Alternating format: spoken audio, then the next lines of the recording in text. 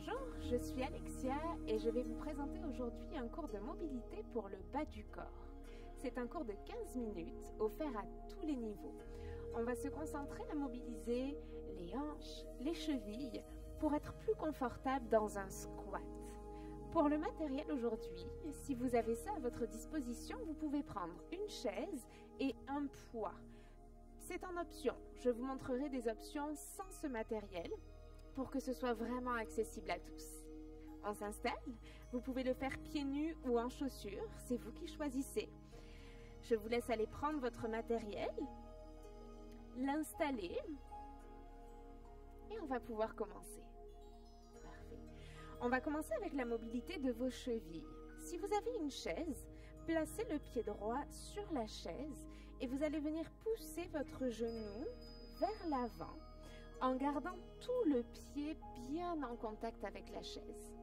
Si vous avez un poids, vous pouvez placer le poids sur le genou pour mettre un peu plus de résistance au niveau du genou. Si jamais vous n'avez pas de chaise à votre disposition, vous pouvez faire exactement la même chose au sol en vous mettant ici le genou gauche au sol, le pied droit en avant. Et vous venez pousser votre genou vers l'avant, mais faites vraiment attention de garder tout votre pied en contact avec le sol. On vient ici mobiliser la cheville, l'arrière. Vous allez peut-être sentir que ça étire un petit peu. Donc ici, vous pouvez inspirer et à l'expiration, aller chercher un peu plus d'amplitude. J'inspire, je reviens légèrement en arrière. J'expire, je pousse mon genou vers l'avant. Encore. Expirez, poussez. Oui.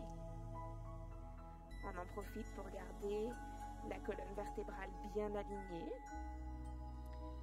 Une belle posture avec les abdominaux bien engagés. Encore 10 secondes.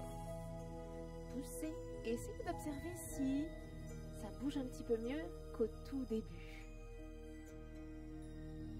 Excellent. On relâche et on va changer de côté. Donc votre option au sol ou sur la chaise, avec ou sans poids. Prenez d'abord le temps de placer votre pied bien en contact avec la chaise. Ici, je commence à pousser mon genou gentiment vers l'avant. D'abord, restez dans votre position quelques instants. Et vous devez sentir l'ancrage du pied au niveau du talon, mais aussi à l'avant du pied. Imaginez trois points, deux à l'avant, un à l'arrière, qui forment un triangle. Et on veut que le poids du corps soit bien réparti sur ces trois points. On inspire, puis on expire, on pousse son genou un peu plus loin vers l'avant. Inspirez. Expirez, repoussez. Parfait. Même chose. J'inspire. J'expire, je pousse. Inspirez. Expirez, poussez.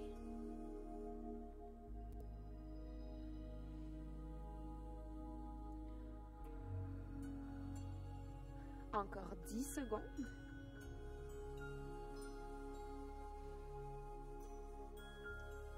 Dernière fois.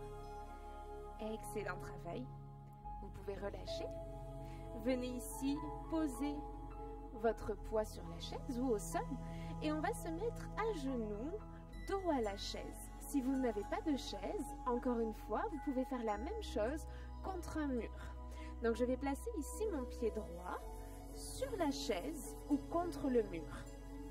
Mon pied gauche en avant donc je suis ici dans une position où je vais sentir un étirement au niveau des fléchisseurs de hanches.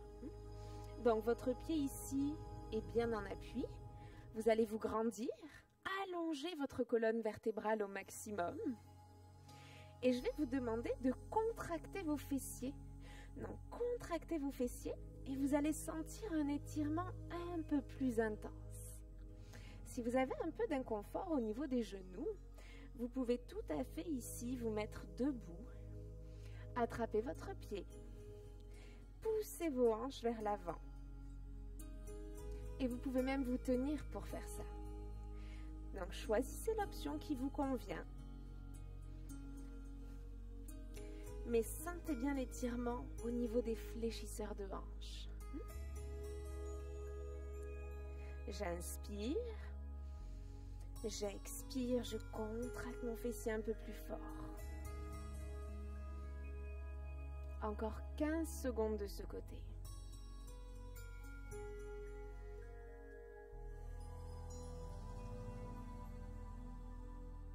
Parfait. Posez vos mains au sol. Enlevez votre pied de la chaise ou du mur. Et on se place de l'autre côté. Donc placez le pied droit en avant, le pied gauche sur la chaise contre le mur. Et on se redresse ici. Dans la position dans laquelle je suis, je suis vraiment très proche de la chaise. On pourrait aussi diminuer l'intensité de l'étirement en avançant le genou un peu plus en avant. Donc essayez vraiment de voir qu'est-ce qui vous correspond. Est-ce que l'étirement debout est plus approprié pour vous si vous avez des douleurs dans le genou? Est-ce que vous pouvez avoir le genou proche du mur ou un peu plus loin du mur ou de la chaise? Et est-ce que vous pouvez contracter vos fessiers pour accentuer encore un petit peu plus l'étirement? Et à tout ça, on ajoute la respiration, qui est vraiment votre allié dans toutes ces postures et dans ce travail de mobilité. 10 secondes.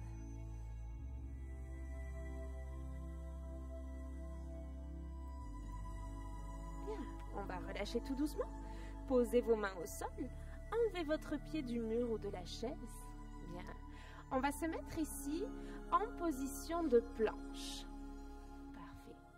Vous allez lever vos fessiers vers le ciel en chien tête baissée. Vous pouvez garder les talons légèrement décollés du sol, les jambes pliées. Et vous allez pousser vos fessiers vers le ciel, votre coccyx vers le ciel, pour sentir un étirement à l'arrière des cuisses. Maintenant, vous allez avancer votre pied gauche à l'extérieur de la main gauche, en position de lunge, de fente.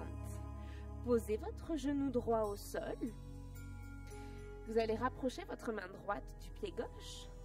Et ici, on va commencer par faire de petits cercles avec le genou gauche.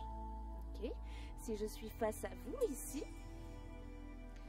je viens faire de petits cercles avec mon genou pour ouvrir mes hanches. Très bien.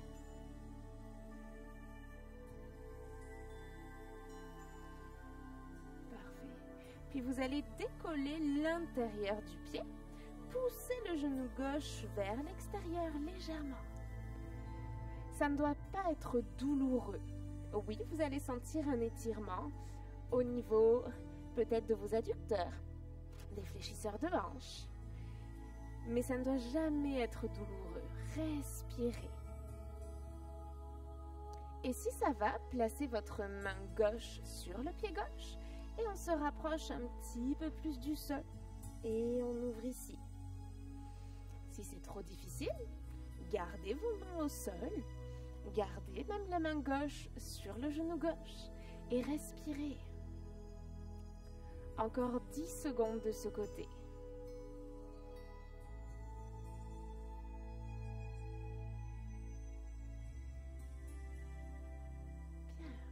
Revenez dans l'axe, repoussez vers l'arrière et on vient se remettre en position de planche.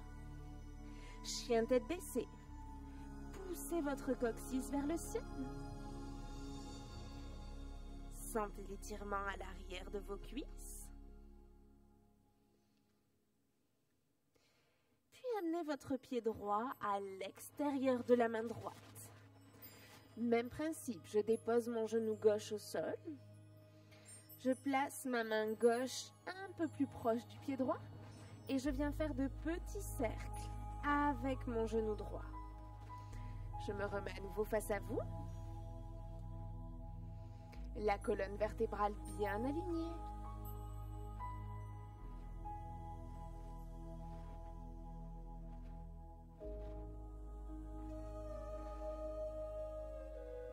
Bien. Puis on revient dans l'axe. On soulève l'intérieur du pied droit pour pousser légèrement le genou droit vers l'extérieur. Continuez d'allonger votre colonne vertébrale. Les abdominaux sont toujours là en soutien, donc on amène le nombril vers sa colonne vertébrale et je pousse gentiment avec ma main droite si ça va. Et rappelez-vous l'option, vous pouvez placer la main sur la cheville, sur le pied et venir placer votre avant-bras gauche au sol. Seulement si c'est confortable et accessible pour vous.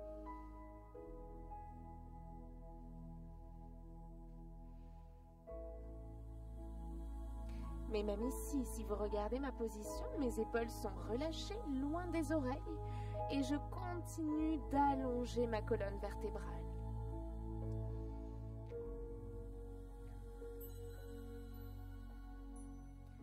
Encore 10 secondes.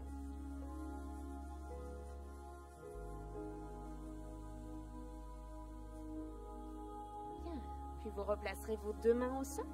On revient dans une position de planche. Et vous allez ramener vos mains vers vos pieds. Relâchez la tête, relâchez les bras. Appréciez l'étirement à l'arrière de vos cuisses. Et venez tout doucement dérouler votre dos, une vertèbre après l'autre, pour vous redresser. Bien. On va continuer avec la posture du squat, qui était notre objectif de départ. Donc vous allez prendre un mur le plus proche de vous. Et ici, on va placer les pieds légèrement en avant du mur et un peu plus large que votre bassin. Si vous connaissez votre posture en squat, placez vos pieds comme si vous faisiez un squat. On va glisser les fessiers vers le bas. Donc là, vous pouvez ajuster la position de vos pieds. Parfait. Et ici, je vais venir coller pour le moment mon dos au mur. Donc j'ai vraiment une position où j'ai la colonne vertébrale alignée, le pied bien ancré dans le sol. Souvenez-vous le travail qu'on a fait pour les chevilles. Je garde vraiment tout mon pied en contact avec le sol. Si vous êtes à l'aise ici, vous pouvez allonger vos bras. Et on va garder cette position. Juste 15 secondes. Engagez vos abdominaux. Toujours là en soutien. 3, 2, 1. On relâche. Posez une main au sol. Vous pouvez poser vos deux mains en avant et dérouler ici votre dos tout doucement, une vertèbre après l'autre. Bien. Deuxième exercice pour le squat. Sans le mur ou avec si ça vous aide un petit peu, on va venir se placer dans un squat profond ici. Vous pouvez espacer un peu plus vos pieds. L'idée, c'est de venir vraiment dans une posture de squat, la colonne vertébrale bien alignée, les genoux légèrement vers l'extérieur. Vous voyez ici, je pousse avec mes coudes sur mes genoux pour ouvrir mon squat. Ici, je vais poser ma main droite au sol et je vais venir ouvrir mon bras gauche vers le ciel. Ma posture n'a pas changé. Je reviens au centre, je pose la main gauche et j'ouvre le bras droit vers le ciel. Alors si vous sentez qu'il y a trop de pression dans un endroit de votre corps, vous pouvez tout à fait vous mettre un peu plus haut et venir faire exactement la même chose ici. Choisissez vos options.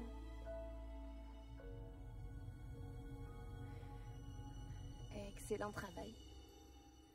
Un dernier twist de chaque côté.